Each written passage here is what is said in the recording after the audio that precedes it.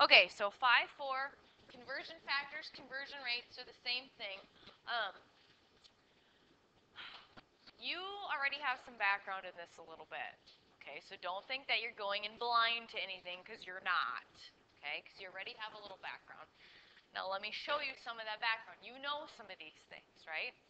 Um, some of them you will need to write though, because you maybe don't know off the top of your head. You maybe don't know that one off the top of your head. Okay. Um, another one I know you're going to need to know is one year is 365 days. Oh, not 55, 65 days. Yep. And another one a lot of people don't know is one year is 52 weeks. Okay. And then some of the other ones I know you need to know. I know you need to know these. I know you need to know, I think, these two.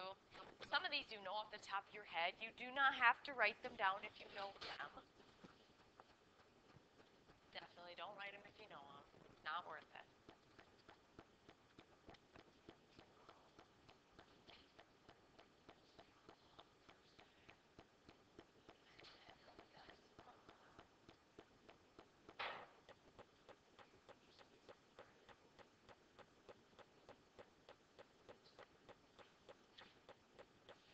Okay, so you got the ones down you didn't know? This should be feet, by the way. And it's miles. What's mile? 5,280 feet.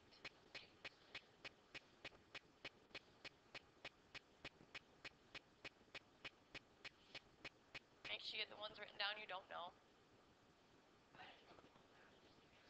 Okay, sweet. Alright, you about ready?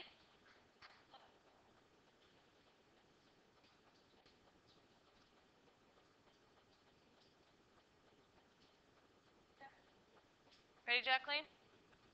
All right, so first thing we're going to do is we're going to do simple conversions, okay? To me, a simple conversion is one step, okay? So if I look at 52 miles and I'm going to change that to feet, what am I going to do to do that, Hunter? Yeah, 2008 or 280 and then 52 times 52. Now, why am I going to times it? Now, here's the thing I like to think about. If I'm going to go for miles to feet, I have one mile, how much? How many feet is in one mile? 5,280, right? So if I have 52 of them, I need to multiply to figure out how many feet I have. Now, to save us time, I'm going to do it on my calculator, okay? Oh, I'll do it then. 5,280 times 52. I won't. No, not today. It's only 12 problems, 13 problems. It's not bad. So it should be two, seven, four, five, sixty. Okay, so that's how many feet are in 52 miles. That's a long ways. That's like from my house to Sioux City. 274,000 feet. That's crazy, isn't it? That's a long ways. Remember, a foot's just 12 inches. That's 200,000 of them from my house to Sioux City. That's crazy. That's crazy. If you want to see how many inches are in that, what would you do then? Multiply that by 12. And so if I do that, this is how many inches there are. We could figure that out too. 3 million, 3.2 million inches. That's a lot. Okay? All right, so let's keep going here. Let's go, let's do a few more, okay? So 67 feet to inches. What am I going to do to this? I'm going to multiply multiply, yep, times 12. Um, you want to do it? You can do it. Whoever's going to do it.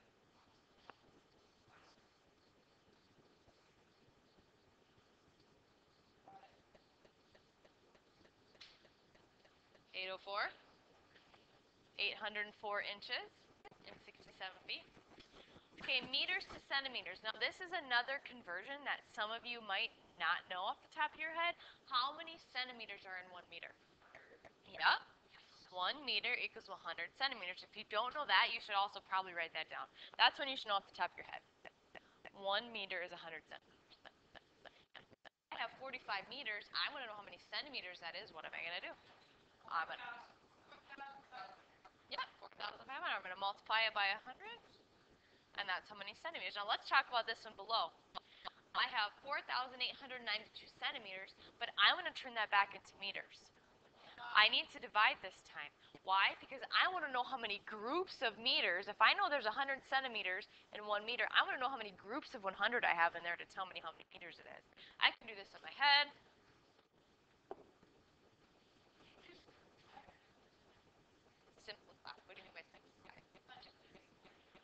No, I would leave it at this. If it just asked you to figure out that as, I would just leave it. You could do that one in your head. So, okay. Now here is a simple, easy rule to remember. If you have one step stuff like I've been doing up here, okay? If you're going from smaller, a smaller unit to a larger unit, hmm. So if I'm going from, here's a good example. If I'm going from a smaller unit to a larger unit, what did I just do? Divide, okay? This is only for one step stuff, okay? We're going to get to two, and it doesn't work for two weapons, but for one step, these are some good rules. If I'm going from a larger unit to a smaller unit, what do you think I'm going to do this time? I'm going to multiply. For example, this one up here. I'm going from meters, think how big a meter is, to a centimeter, itty bitty, larger to smaller, multiply. Okay? Now remember, these only work for one step stuff. Okay? Does that make sense so far? Okay.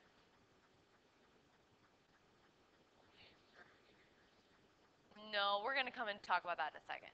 We're going to talk about customary to um, trick in a second. Any questions about this? All right, so quickly, let's talk about this one. 12 hours to seconds. I got to divide by 60 how many times? Well, first of all, if I'm going from hours to seconds, I'm going from bigger to smaller, so I need to times. If I times by 60 once here, what is that going to give me? It's going to give me minutes, right? So that's 720 minutes. Now what am I going to do to this again to get it to seconds? I'm going to multiply by 60 again to get me to seconds. So sometimes you have to go do double stuff. Yes, ma'am. Yep, 3600. Yep, you could do uh, 12 times 3600. That would also work. No, this is not two-step. I'll show you what those look like. Oh, you got? This? So this is not the two-step ones I'm talking about. The two-step ones I'm talking about have like two totally different units of measure I want you to change it to. So, yep, that's, this is not a two. You'll see that in a second. Okay, well, we're not done yet. Okay. All right, so the other thing, I'm going to go to the next thing, and I want you to turn to page 201 in your book. Okay, so part of your homework is going to be what I just talked about. The other part of your homework is going to be in this book. Okay, if you look on page 201, do you see that chart there? Okay, that's what you're going to use for the second part of your homework today. Okay. Now here's the thing about the chart. It goes from metric to customary or vice versa. Remember last year we talked about this a little bit, and remember we said that we, the United States, is one of the only countries in the world to use customary? No, there's one, one other one. Yeah, maybe they don't use customary. Maybe they use their own unit of measure, but everybody else uses metric system. Okay.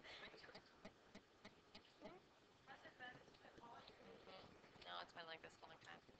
So, all right, so here's the good thing about using this table. If you're using this table, they did all the work for you already, and you're going to multiply. Anything you do with this table, you're going to multiply. Okay? There's going to be no division. If you have to use this table, there's no division because they did the work already for you. Okay? So let's look at some of these conversions in here. Do you see like a customary to metric? Do you say one inch equals 2.540 centimeters? Do you see that? Okay? And then go across from it. Do you see how one centimeter equals 0.3494 inches? Do you see that? They're like the same uh, conversion rate, but what's the only thing that's different? What comes first in both of them? One of them is metric to customary, and one of them is custom to metric. So here's the thing. When you're doing some of these, so let's do this one together. Let's do this one together. Six miles to kilometers. Find in there where it's miles to kilometers, where miles comes first. Okay, so one mile equals what, Hunter? 1.609 kilometers. The only thing you're going to do is you're going to multiply those two things now. They did the work for you of dividing and all that good stuff because they see how they have two different types in there? One's one way, one's the other way. Well, you're going to multiply 6 by this, and that's going to give you how many kilometers it is. That's it. So if you use this chart, you're only going to multiply and it's really, really important to follow exactly what they want. So this one wants miles to kilometers. So you have to look in there for miles to kilometers, okay? But look at the other side. Is that kilometers to miles? Do you see that? Okay, do you see which one you have to use? You have to use the miles to kilometers because that's what they have up there. Does that make sense? You can't use the other one because the other one's not going to work. If it was the other way around, then you use the other one. So it has to go in the order that this is on the board. Yep. Hmm? You're always going to multiply because they took care of the division for you. If they only had one side of this, then you'd have to divide. But since they have sides of it all set up for you already, then all we're going to do is multiply you have to use that. Okay. Um, just for metric to customary. Depends what they're asking for. Like if they're doing hours to seconds, well, it's not going to be in there. But if they're doing like milliliters to uh, ounces or kilometers to miles or uh, kilometers to, I don't know, what else is in there? To yards or inches. Yeah, you have to use this chart. So that's why it's so important. And I'm not going to make you memorize this whole thing because someday when you need to know this, you're going to say, Siri, how do I find this? And Siri's going to tell you. And so that's why I'm not going to make you memorize this. If you need to know it for your test, I'll tell you what you need to know. Okay? But I'm not going to make you memorize it. Okay? Sound like a plan? Okay. So let's do another one. Let's go not this one. Let's talk about this one. Let's do this one together. So I have yards, yards, two meters. So one yard is how many meters? 0.914. So what I'm going to do is I'm going to take this 914 and I'm going to multiply by 11, and that's going to give me my answer then. So 0.914 times 11. Uh, close. No.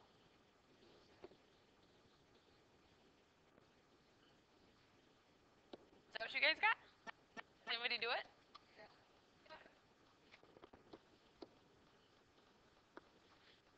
Alright, so does everybody understand how to use that chart? You have to, number one, figure out what's first and what's second, and that's what you have to find in there. If you don't follow the exact order, then you're not going to get it right. Okay? All you're going to do is multiply. Any questions on that? Okay, we're good? All right. So this is the part here that some of my other students were having troubles on. This is the multi-step. This is the two-step, okay? So what do you notice about this? What do you notice about this? It has miles per hour, and it wants you to change to what? Feet per minute. So we're going to be doing a few different things here. So I like to do it one step at a time, and I think that's probably the smartest thing to do. I have 20 miles an hour, and I want to change that to how many feet in a minute. So the first thing I'm going to do is I'm going to change this. Guess what I'm going to change this to? Feet. So don't even think of what's behind it. If I'm going to change 20 miles to feet, what am I going to do? 20 times 5,280. Okay, zero, zero.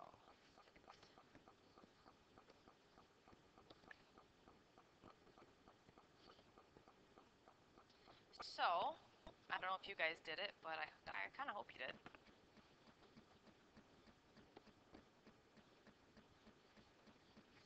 All right, so do you see how after I did this is what I got for an answer? 105,600 feet. Does everybody understand that so far? What's the matter? Okay. You're scared. Nope, just wait a second. Okay? You're close. You're very close. So this says I can go 105,600 feet in one hour. But if I want to break it down to a minute, how many minutes are in an hour? So I want to figure out how far I can go in one of those minutes. So instead of multiplying by 60, what do I have to do? I have to divide by 60 to figure out, if I divide by 60, that's going to tell me how many feet I can go in a second then. Okay? Do you see how before we had those bigger to smaller divide, multiple, you know what I'm talking about? It does not work for this because, is this true hours and seconds? No, I'm talking about feet. I'm not talking about hours and seconds. Okay? I'm talking about feet per second. That's why my little tricks don't work for the two-step or the multi-step. Okay? Yep. Yeah, if I had uh, miles per minute and I was going to go to feet per hour, then I'd multiply, yeah. So if I divide by 60, so I don't know what this is. Let's see, 1, 0, oh. So so I can go feet per second. Oh, per minute. I'm sorry. This is supposed to be per minute, not per minute. Okay, does that make sense to everybody? Now let's say I wanted to actually make it to feet per second. If I, if I can go this many feet per minute, and I want to know how many feet per second I'm going to go, now what I'm going to do, I'm going to divide by 60 again to figure out per second. Huh? Yeah, it's confusing. Maybe I didn't explain it the best way, but yeah.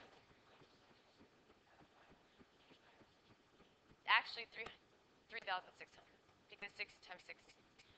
Somebody else did that too. 100. You just add the 60s together. 3,600. Yeah, that would work. All right, should we try another one? Yeah. Let's try another. Okay. All right. What? About equal to. I don't think so. Not in this, I don't think. Why is that? Is it show that in the book or something? Oh, no, no, no, no, no. No. Maybe they do about because they may be round. That's probably why they did that about because they may be rounded in there. All right, so 18 miles an hour, and I'm going to change it to feet per second. So first thing I'm going to do, I'm going to change this miles to feet. So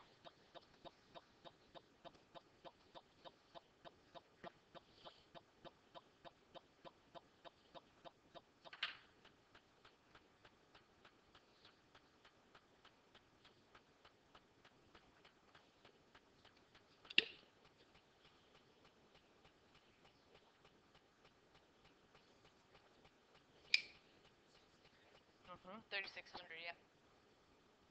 If you want to do it that way. You don't have to do it that way. So let's see. I don't know. Let's make sure 5,280 times 18. Oops. Would be this. Okay. So you go 95,040 feet per hour I have to change it to minutes first, and then I got to change it to seconds, right? So if I go this far in an hour, how do I figure out how to get to minutes then? Divide by 60. And then if I want to do to seconds, I have to divide by 60 again. So I really could, some people are saying, well, I don't get what you mean by 3600. Well, if I multiply these two together, I could just divide by this whole number first and get my second.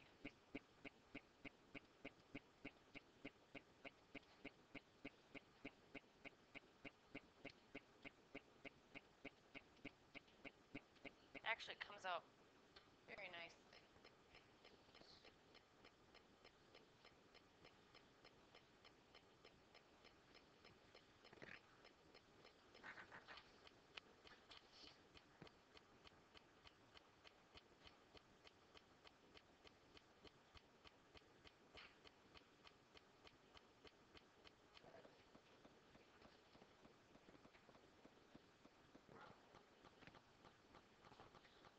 I think you come up with this.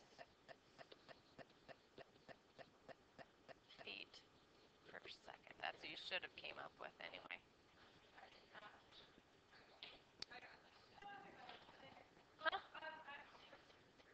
Oh, that's fine.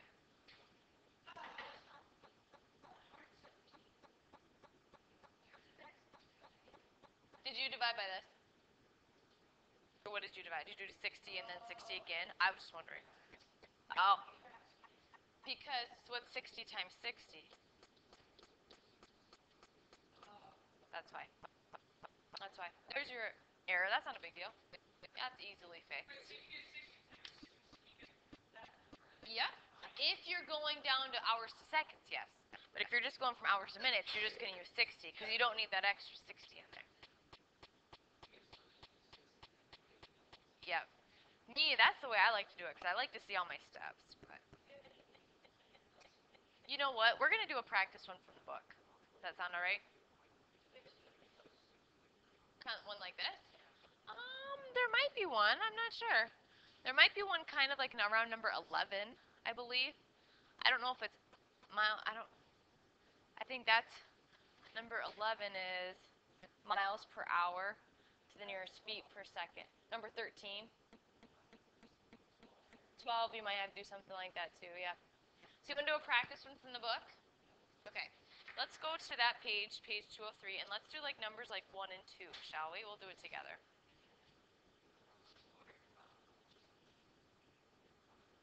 Number 1 and 2 on page 203. Let's just do Because it's good for you. It's good for you. Alright, are you ready? Let's look at number 1 together. You guys ready? We'll do it together. In Brazil, about 20 acres of rainforest are destroyed each minute. At this rate, how much rainforest is destroyed per day?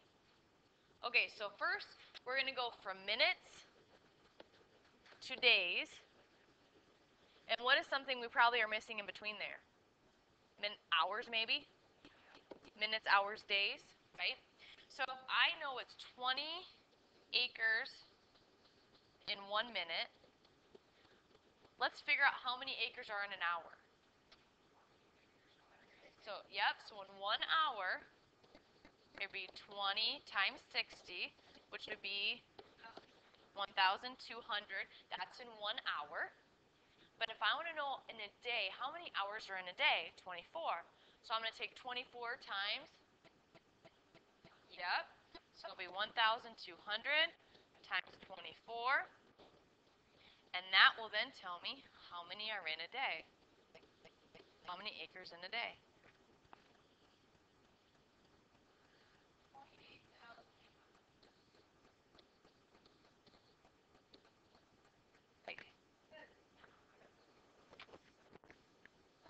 I think you're right, Hunter.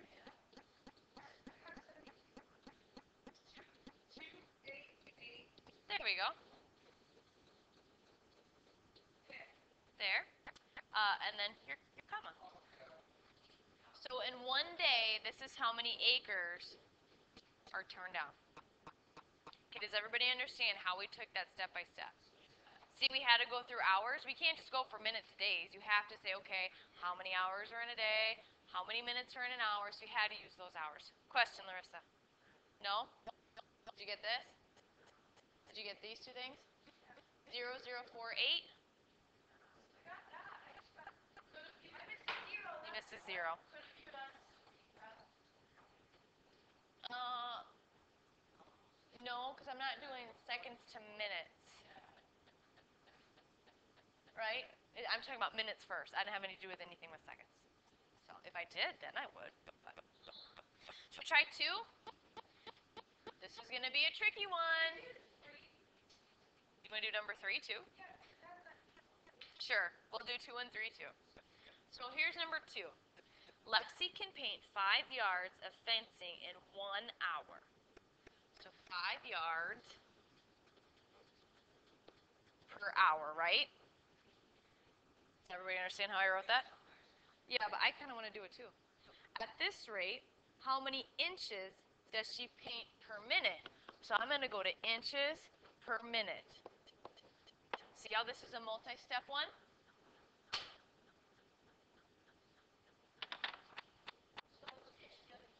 So I'm going to multiply, figure yards to inches.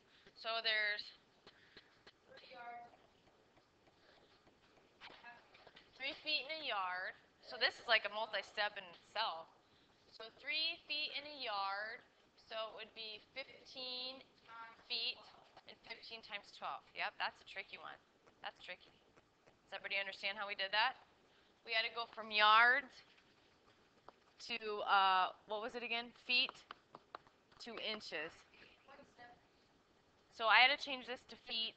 So there's three feet in a yard, so this is actually 15 feet. And then I have to change that to inches, so 15 times 12. What is that? 180 inches per hour. Okay, that make sense to everybody? We just had to go through some steps. But now, if I want to change this to minutes, if I do this in one hour, what am I going to divide this by? Just by 60. Just by 60. Because hours to minutes, how many minutes are in an hour? And divide by 60. Yep, so then I got to divide by 60. That's right. What? What's the matter? No, he was telling the answer already. You were a step behind. so this would have been 30 inches. Oh, sorry. 3 inches per minute.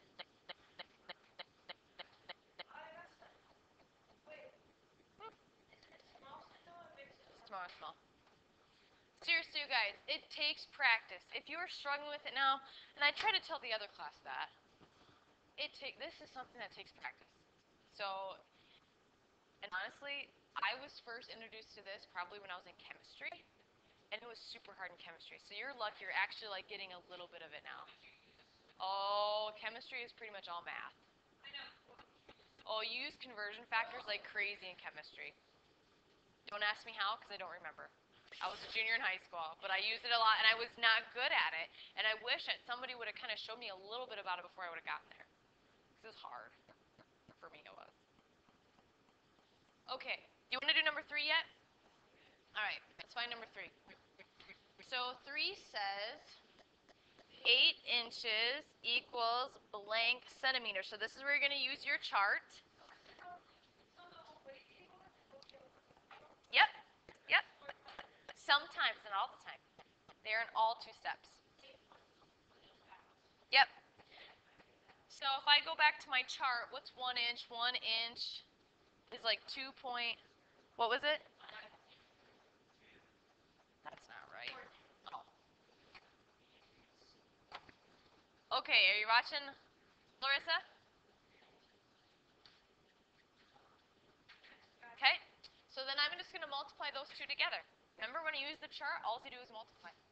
So it'll be 2.540 times 8, 0, uh, 2, carry the 3, 43, 16, 17, 20. Something like that. And that's my answer. Then I'm done.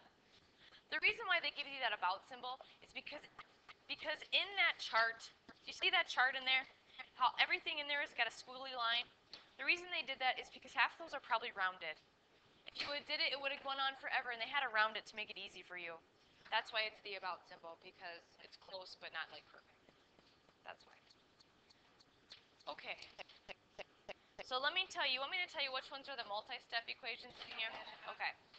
So let's see number 12, um, hours per year, yep, number 12 is a two-step one, and number 13 is a two-step one. Number 10 is not. Number 11 is not. Hmm, yep. Yes. Yes. So 11, 12 and 13 are both two-step. Now let me look at 23. Oh, you don't? Oh, then we're good. So 12 and 13 are the only two steps that are two multi-steps. Yep, so take your time. Take your time.